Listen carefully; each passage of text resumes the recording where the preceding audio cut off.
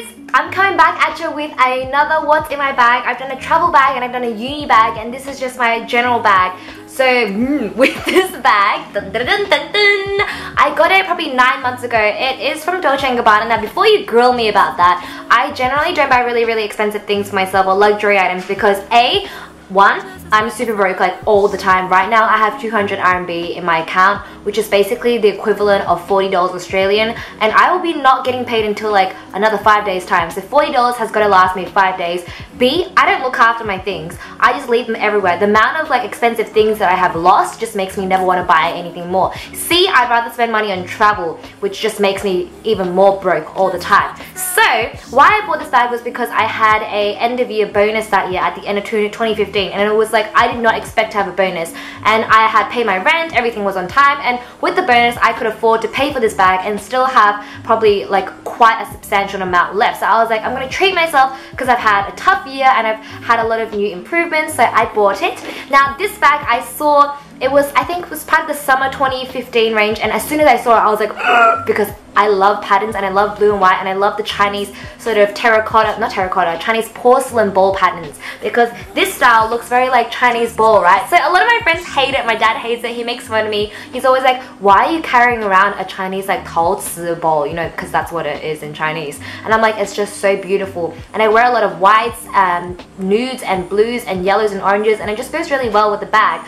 So originally this bag is I think almost over 3,000 Australian dollars. It was 20,000 RMB. But I got it during winter, right after Christmas, and it was, I would like to say, I think it was 60% off or 70% off. Either way, I ended up paying 10 grand for it, so which is 2,000 Australian dollars, and it is, I don't regret it at all. I, I love this bag and I've used it so much over these past nine months and it fits so much so this bag is the Sicily from Dolce & Gabbana. It's in the medium size. It's in this porcelain print and it comes with the strap like this as well. So what I love about this bag is that it has a strap but sometimes if I'm going out for dinner and I just want like a dainty bag, I can hold it like this as well. It also expands on the side so it allows more room for you to put things in. And also it has silver hardware which goes very nicely with the blue and white style.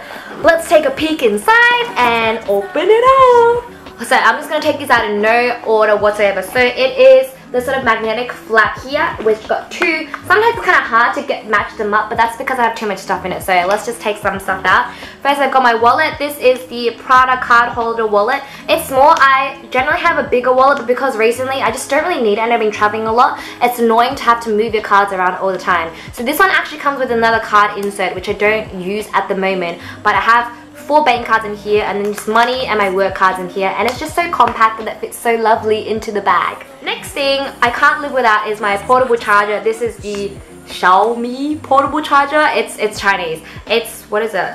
It's a lot of watts. It's 10,000 mega AHs, whatever that means. But it charges my phone three times and I cannot live without it because iPhone batteries are crap and by the time I finish my morning show, like 10 a.m., I'm already on 2% because I've been up since 5 a.m. My thermos, you did not think that this could fit a thermos. It can fit literally a whole one liter bottle of water in like the, the sort of stout ones, like the Fiji water ones. Um, it's not actually like hot tea, I just have my smoothie in here in the morning because I don't have a proper bottle to put my smoothie in.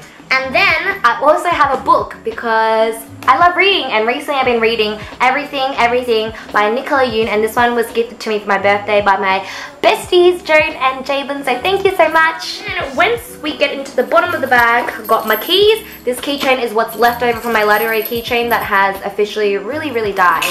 Let's take a peek inside the bag. So once you open it up, it's like that. It's got material on the inside. So if your water bottle leaks, you're gonna get it all quite wet. Now with the little inlet pocket on the front side, I just put my earphones and then a hair tie because the girls always got to use a hair tie and this one kind of strangles my wrist so I don't want to put it on my wrist. What's really cool is that it has another thingy on the inside here. So uh, of course it has a zip section here and then it has another little pocket with the leather pattern from the bag on it. And inside here, this thing I've never personally used but I can say that it saved a lot of girls' lives.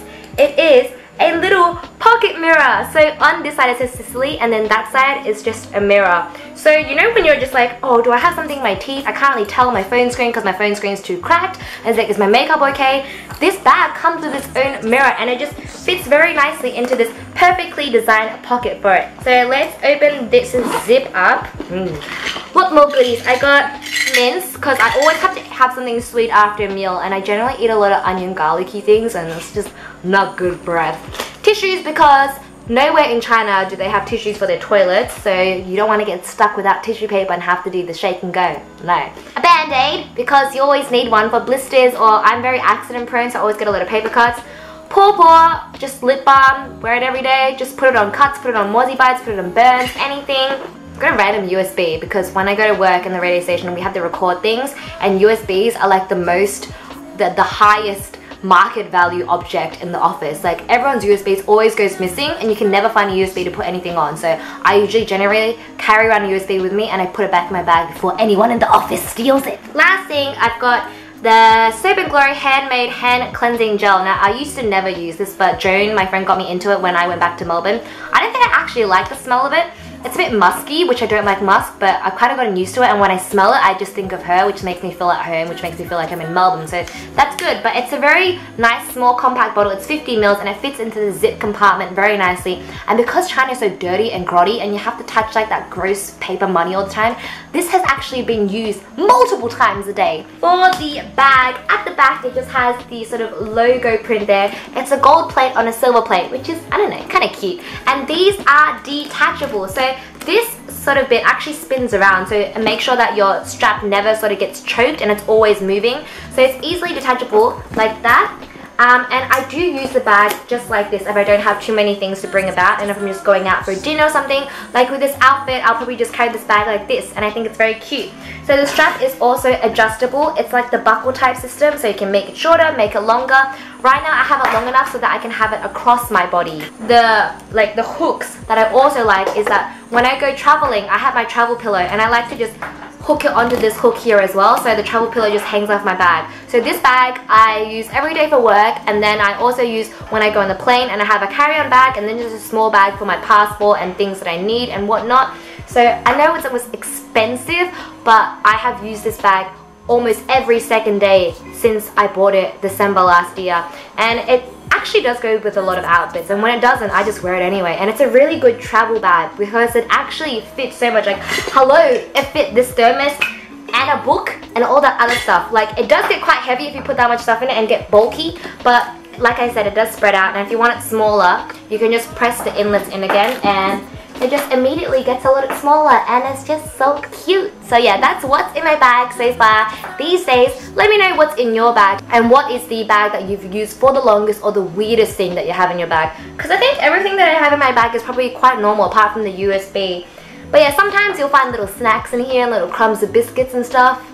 But yeah, those are the bad days. So let me know and thank you so much for watching. If you want any more what's in my bag videos or any other bag reviews, I can do that too. Just comment down below and I'll see you in the next video. Bye! Right there.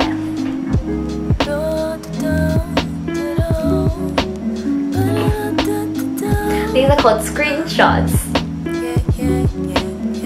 Okay, thanks. Okay, so we'll start off with the bag. Let me just... Okay, this is the Louis Vuitton Keepall Bandoulière in the